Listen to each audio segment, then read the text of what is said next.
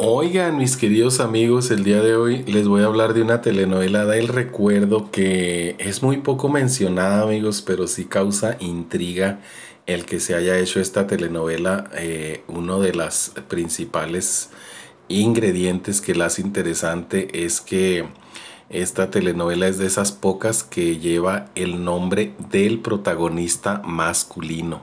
Ya ven que la mayoría de las telenovelas pues eh, se llaman con el nombre de la protagonista y esta fue una de las excepciones y estamos hablando de una novela de los ochentas para ser más preciso de 1986 Martín Garatusa una telenovela mexicana de época que fue dirigida por José Caballero y producida por Fernando Maret y Rocio Campo para Televisa. La historia, amigos, se emitió por el canal de las estrellas entre el 16 de junio y el 31 de octubre del 86. Fue protagonizada por Manuel Andeta y Cecilia Toussaint y coprotagonizada por Eduardo Capetillo y Cecilia Tijerina fue la primera telenovela donde actuó Eduardo Capetillo, además de las actuaciones estelares de Rita Guerrero y Mariana Levy y con las participaciones antagónicas de Claudio Báez, Julieta Egurrola, Raquel Olmedo, Alfonso, Alonso Echanove, Suria, Suria MacGregor, Oscar Traven y Alberto Estrella.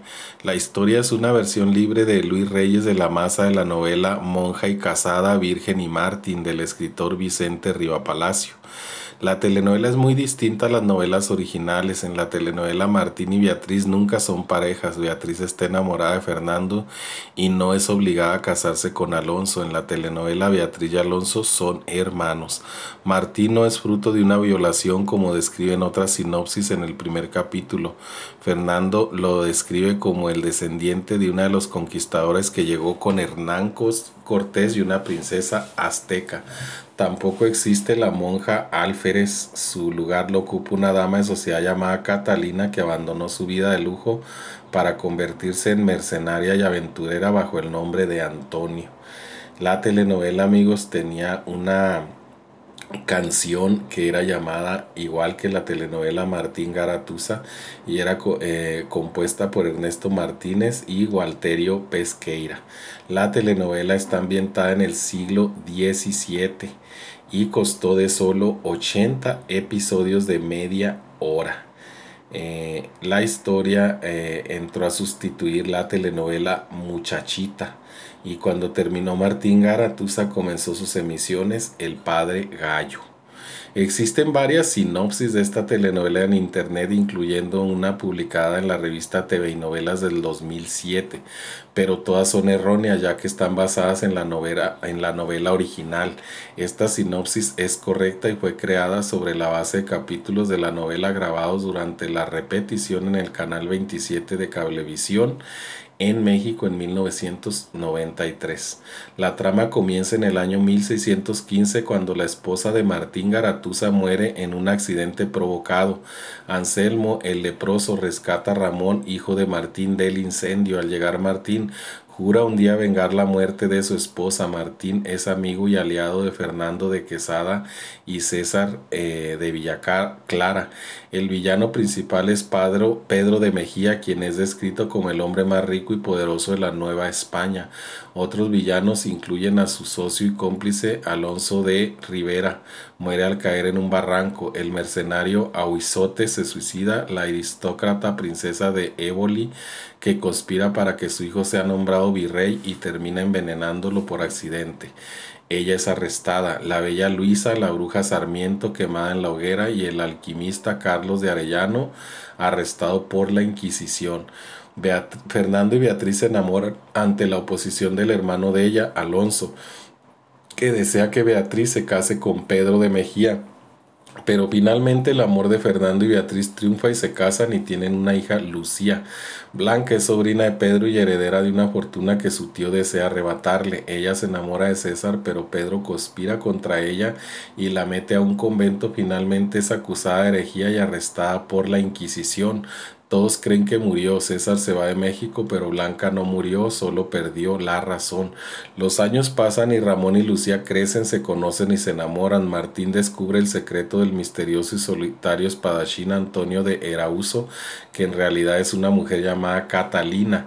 Rumbo al final, Blanca recupera la razón, Alonso intenta casarse con Blanca para robarles la fortuna a espaldas de Pedro. Finalmente, Blanca es capturada por Pedro, quien está dispuesto a matarla cuando llega Alonso, mientras Pedro y Alonso discuten, llegan los héroes a rescatar a Blanca. Alonso huye con Blanca, Antonio persigue a Alonso y al alcanzarlo pelean.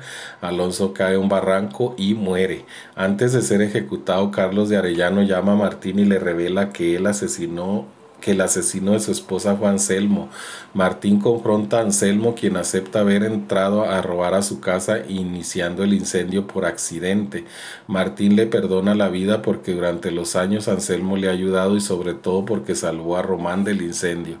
La familia de Quesada, acompañada por Blanca y escoltados por Martín, Ramón y Antonio, parten rumbo a Querétaro. Al llegar, Román y Lucía contraen matrimonio. En el camino son víctimas de la emboscada planeada por Pedro. Un disparo mata a Antonio y, y el guisote mata a Lucía. Tanto Lucía como Antonio alcanzan a despedirse de los hombres que, que, aman Román y Martín respectivamente. En San Juan del Río, Román conoce a César, quien lo invita a unirse a la tripulación de un barco llamado Filipinas. En la conversación, Román descubre que César era el enamorado de Blanca y César se entera de que Blanca está viva. César y Blanca se reencuentran. Martín cabalga hacia el horizonte esperando que nuevas aventuras le hagan olvidar el pasado. Pues esa es Martín Gara, tus amigos, que fue nominados premios TV novelas, mejor actor protagónico Manuel Andeta y mejor actriz experimentada Surya McGregor, pero ninguno de los dos ganan el reconocimiento. Eh, la telenovela, amigos, fue retransmitida en 1993 en el canal 27 Cablevisión y en 1994 la transmitieron por el canal 9. Pues este es Martín Garatús, amigos, una telenovela extraña eh, de época y muy poco recordada. escríbanos si ustedes la recordaban o la habían escuchado mencionar o si les tocó verla y nos vemos en la próxima.